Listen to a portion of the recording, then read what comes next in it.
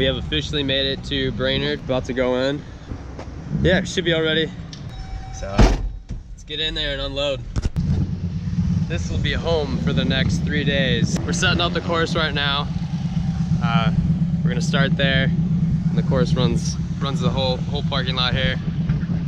Pretty excited. Uh, funny story, about three years ago, um, I actually blew up an engine out here. So I'm excited that finally have this car out here today and see what we can do with it.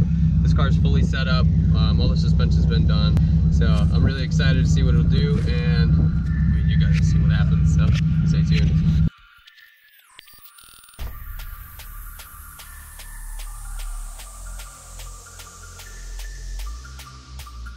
Gonna have to pick up so many cones today.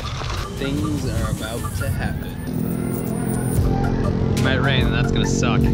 Oh,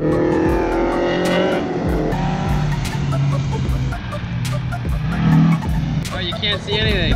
It's raining. ah, my umbrella! No! and it's officially raining out. S2Ks are killing it like usual. Oh, there's a cone.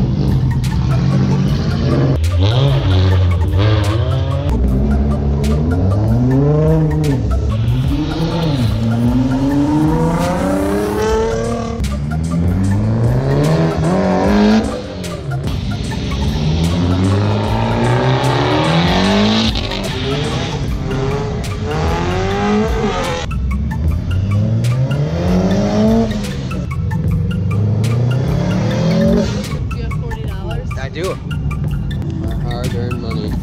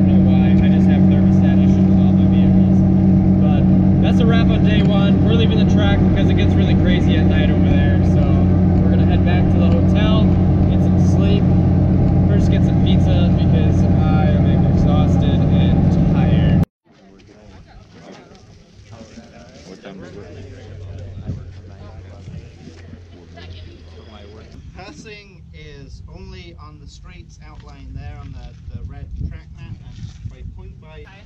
So again, no passing ever when you see this. Today's the day for big track stuff. I had to uh, I had to fix the power steering line on the car today. Uh, we're gonna head out shortly. We're waiting for this group to finish up. I'm probably gonna go with an instructor first because I've never been on this track and I need to learn it. Um, overall, the car is doing good. Everything's solid. Everything's bolted down. Um, we didn't have any issues yesterday, so we're gonna give it a go. Just got off the big course and we had some issues. Came into the first turn after some hot laps and the whole wheel locked up, flat spotted a bunch of it. The brake caliper actually ripped out of the hole, so I'm gonna have to get some kind of bolt so we can get back on track. It has been a very stressful day. Put the wheels back on. I ended up having to tap through the hub and then re-tap the caliper itself with a half inch US bolt because that was the closest thing I could get to actually fit in there. So now we're gonna head out and I'll remember to put the GoPro on the side of the car this time.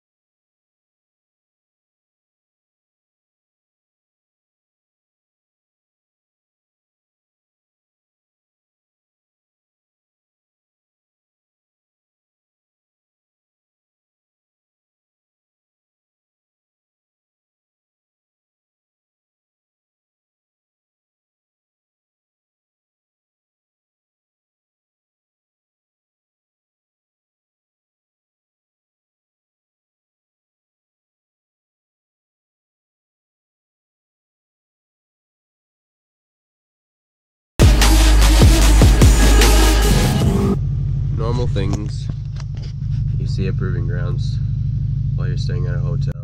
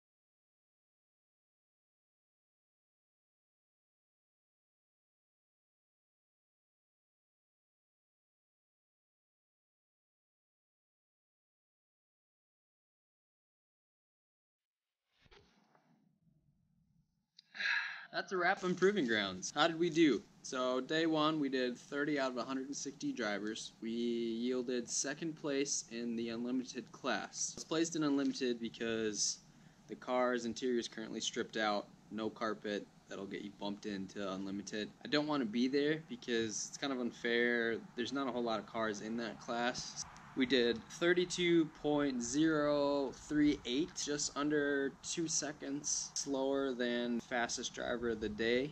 In autocross, that is a lot of time, but you have to remember this car was a shell four weeks ago. Day two, we did 25th out of 160 drivers, a 32.316, just under two and a half seconds slower than the fastest driver that day. Along with along with the second day of, of Proving Grounds, we had brake failure on the big track, which is kind of frightening because the same day a Corvette actually got put into the wall. I'm actually just gonna go ahead, replace that caliper, get rid of it, get a new one in. It's honestly not much more expensive just to get a whole new caliper versus trying to repair that one. I'd rather be safe than, than sorry. We also did have an issue with the power steering. I replaced the line, but it, it didn't fix the issue. We're still having power steering issues. First turn you go into, it, it just kind of fights itself and you're literally manhandling the car the whole entire time. Day three, we had a wheel bearing failure and uh, kind of it kind of cut the day shorter than it should have been. The wheel bearing failure was right before the standing start shootout. I didn't want to do the standing start shootout just because having a bad wheel bearing is dangerous on track. I ran twice. Um, that's how I got down to the 106 it it was a little scary. It sounded like the wheel was ready to fall off the car. More time on track, getting the line down, being more confident. Uh, I could have got down to a 102, but with the bad wheel bearing, I wasn't gonna risk it. Uh, if you jack the car up and you grab that rear wheel, it, it it's got like an inch of play. I got a ton of track time out on the big track. This is the first time I've ever been on the big track.